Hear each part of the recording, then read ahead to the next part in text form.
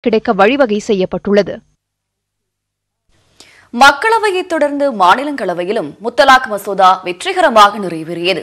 இந்த மசோதாவானது விரைவில் சட்டமாக்கப்பட உள்ள நிலையில் இது குறித்து அரசியல் தலைவர்கள் கூறிய கருத்துக்களை தற்போது பார்க்கலாம். முத்தலாக் மசோதா நாடாளுமன்ற இரு அவைகளிலும் வெற்றிகரமாக நிறைவேறியது. இதுகுறித்து ட்விட்டரில் கருத்து பதிவிட்டுள்ள குடியரசுத் தலைவர் ராம்நாத் கோவிந்த் சமமற்ற நடைமுறையாக இருந்த முத்தலாக் விவாகரத்து முடிவுக்கு வந்துள்ளதாக குறிப்பிட்டுள்ளார். பாலின சமத்துவ நீதிக்கான பயணத்தில் இது ஒரு மைல்கல் எனவும் ஒட்டுமொத்த தேசமும் நிறைவடைந்திருக்கும் தருணம் இது எனவும் பெருமிதம் தெரிவித்தார். இதுகுறித்து கருத்து தெரிவித்த பிரதமர் மோடி முத்தலாக் எனும் பழமைவாத நடைமுறை வரலாற்றின் குப்பை தொட்டிக்கு சென்றுள்ளதாக குறிப்பிட்டுள்ளார்.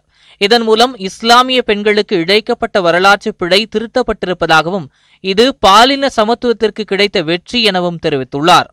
மத்திய உள்துறை அமைச்சர் அமித்ஷா கூறுகையில் இந்திய ஜனநாயகத்தில் இது ஒரு முக்கியமான நாள் என குறிப்பிட்டுள்ளார். முத்தலாக்கில் இருந்து இஸ்லாமிய பெண்களை பாதுகாக்கும் வண்ணம் சட்டம் இயற்றியதற்காக பிரதமர் மோடிக்கு வாழ்த்து தெரிவிப்பதாகவும் முத்தலாக் மசோதாவை ஆதரித்த அனைத்து கட்சிகளுக்கும் நன்றி தெரிவிப்பதாகவும் கூறியுள்ளார்.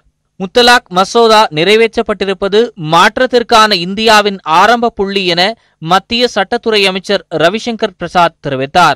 இஸ்லாமிய பெண்களுக்கு நீதி வழங்கிய இந்த நாள் வரலாற்று சிறப்புமிக்க நாள் என்றார். இதுகுறித்து பேசிய காங்கிரஸ் கட்சியின் மாநிலங்களவை உறுப்பினர் ராஜ் பாபர் சிவில் சட்டத்தை கிரிமினல் சட்டமாக மாற்றியது ஒரு வரலாற்று பிழை என்று குறிப்பிட்டுள்ளார். முத்தலாக் மசோதாவால் இஸ்லாமிய பெண்கள் மேலும் பாதிக்கப்படுவார்கள் என ஹைதராபாத் எம்பி அசாதுதீன் ஓவைசி தெரிவித்தார். முத்தலாக் மசோதா இஸ்லாமிய அடையாளத்தின் மீது தொடுக்கப்பட்ட தாக்குதல் என்றும் ஓவைசி கருத்து தெரிவித்துள்ளார். காஷ்மீர் மாநில முன்னாள் முதலமைச்சர் மெஹபூபா முப்தி முத்தலாக் மசோதா இஸ்லாமியர்களை கொடுமைப்படுத்துவதற்காக கொண்டுவரப்பட்டிருப்பதாகவும் ஏற்கனவே இதனை சட்டவிரோதம் என உச்சநீதிமன்றம் குறிப்பிட்டுள்ளதாகவும் தெரிவித்தார்.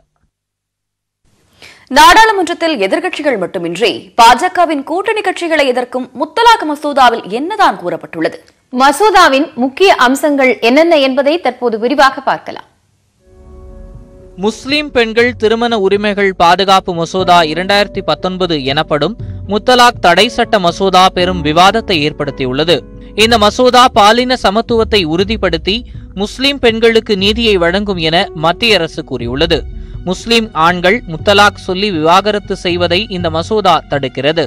முத்தலாக் கூறி விவாகரத்து செய்வதை இந்த மசோதா செல்லாததாகவும் சட்டவிரோதமாகவும் அறிவிக்கிறது. இந்த குற்றத்திற்கு அபராதத்துடன் மூன்று ஆண்டுகள் வரை சிறை தண்டனை விதிக்கவும் சட்டம் வழிவகுக்கிறது. மேலும் விவாகரத்து செய்யப்படும் பெண்களுக்கும் குழந்தைகளுக்கும் ஜீவனாம்சம் வழங்கவும் இந்த சட்டம் வகை செய்கிறது. பாதிக்கப்பட்ட பெண்ணோ அவரது இரத்த ரீதியான உறவினரோ இது தொடர்பாக புகார் அளிக்கலாம். அதன் மீது பிணையில் வெளிவர முடியாத வழக்கு பதிவு செய்யலாம். பிணை வழங்கப்படும் முன் பாதிக்கப்பட்ட பெண்ணின் கருத்தை கேட்க மசோதா வகை செய்கிறது.